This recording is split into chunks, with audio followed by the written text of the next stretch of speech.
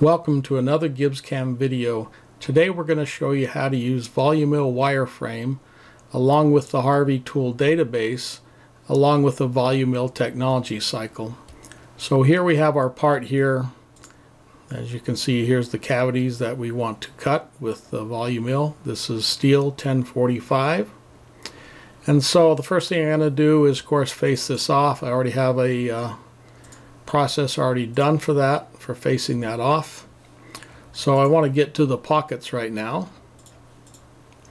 So I want to uh, inquire what the radius uh, is on these corners here. So let's just go to the plugins, solid inquiry, and click on this radius. And you can see it's 300 thou. I believe all the rest are as well all the internal corners, which they are. So I'm going to use a half inch end mill. So I'm going to bring up a VoluMill toolpath and create a new tool. And I know I want to use a half inch uh, end mill. We'll leave the rest of this kind of blank and everything here blank, but I know I want to use a half inch end mill. So for right now, I'm going to go into my VoluMill and go to the technology expert up here at the top of the bar. This is in uh, version 13 in Gibbs. Okay, I'm going to choose carbon steel, Brinell about 84. I have a 40 taper machine. My machine I'm using is 12,000 RPM and my maximum feed rate is 1181 inches per minute. Now as far as workpiece holding, yeah I am really rigid so you can see the slider there. I'm going to put this on rigid. And aggressiveness, usually I start out in the middle, but for here we'll kind of get a little more aggressive on here. And the toolpath is VoluMill. We're using a hydraulic chuck. Uh, you have a number of choices there, but you either want to use a hydraulic chuck or milling chuck or shrink fit. ER collets do not work well for VoluMill wireframe. Uh, there's just too much pressure on the tool. It'll pull it out of your ER collet, so I would not recommend using an ER collet. So hydraulic chuck or these three will be your best bet. So we can choose what we want to use here. We can check them all or uncheck them all or just choose, pick and choose what we want to do. But I'm going to have, of course, check all. And I'm going to click on apply checked or apply all. And this will give us all our feeds and speeds and step over and everything we need here. The only other thing we need to do is, of course, adjust our uh, where we want to start and where we want to end. Now with the uh, Gibbs, if I just put in uh, 0.1 there for instance, and if I hold down the Alt key, I can click on the floor and Gibbs will automatically calculate where that depth is. As you can see, if I put click on here, that's zero. Here, that's minus one. Down here is minus one. So we know we're at a one inch depth there. Um, I'm going to do a plunge clearance of 0.1, floor clearance, leave a little material there. And so we're good there. Now I just need to adjust the tool. So I'm going to go up to the plugins and as you can see in version 13 some of the newest versions have the Harvey tool library as well as helical solutions. We're going to click on the Harvey tool database and I'm going to tell it I want to use a square end mill, English units, so you see English metric, and shank type is going to be straight.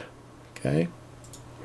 And as far as number of flutes, uh, the technology expert in VoluMill said to use five flutes, so I'm going to stay with five flutes. And the diameter, I said, well, show me all the end mills that are 3 eighths to a half inch. And this is what we get with Harvey tool.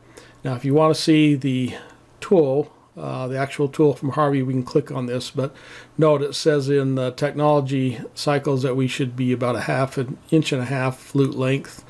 Um, to cut this part so we can have evacuation of the chip. So I'm going to click on this here and I'll drag this over here and as you can see this is the Harvey tool. This is just a representative of the tool uh, but this isn't the tool we're actually using. This is just a photo represents that. Uh, cutter diameter half inch, overall reach inch and a half, coating AIT nano. You can always click on this to see more information on what the tool coating is. So very good uh, database there. Okay. Move this back over. And I'm going to click on import. So it tells me it imported successfully. Close this. And if I look at the tool, You can see it has all the information there and it also has on the comments the Harvey tool number and all the information about that end mill. So this is really nice to uh, choose your end mills here. So let's drag this end mill down to use that tool. Everything else looks really good here. Let's click on this uh, pocket and we'll click on do it. And now we have our toolpath there for our VoluMill. Looks really nice. Now while we're there we might as well do this other pocket because we're using the same end mill. So let's click here and do that. Now we have our VoluMill pocket for that as well. I'm just going to come back with uh, uh, basically a finish end mill, half inch, and also five, or I might change that to six flutes instead. We can also use the Harvey tool database if we want to, uh, or we could just uh, put in the information that we want to. Uh, for uh, shortness of time, I'm just going to leave it right there for now. So we're just going to clear this, actually change the process to roughing with uh, the tool number three. Going to go to the depth there, um, we're going to leave a little stock on there for roughing. So let's just uh, do that. And so we're going to rough out the pockets. And then next I want to finish the pockets. So I'm going to just change the process there to a contour. Again, everything else there is good, feeds and speeds. So I'm going to start on here first. And we'll do this one for finish and then the last one we'll do this pocket that direction end up over here and out through there and we'll do this as well and then we have our finished part so let's do a cut part rendering and you can see what it's doing turn on our cut part render. Let's rewind play. As you can see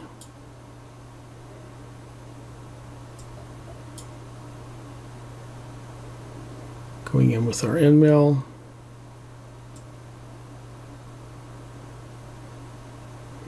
We're going right to depth but we're actually leaving about 10 thou on the floor and 10 thou on the side walls speed it up a little bit and as you can see the VoluMill actually does a high feed rate when it returns back over to here. VoluMill does not use G0s in the code because G0s are unpredictable. It uses a G1 for the high feed rate so it knows exactly from point A to point B where it's going. Speed that up a little bit. Now we're just doing a standard roughing process on the bottom, leaving the same amount of stock. And then we're coming back and taking a finish pass. And of course we're taking a chamfer tool cutting around the bottom there. And that's our VoluMill toolpath works great with Harvey tool database.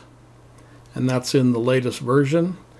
And I also have a we actually cut this on a machine. So here is the uh, YouTube video on how to cut that. And you can watch that. It's on my same channel. Thank you for watching.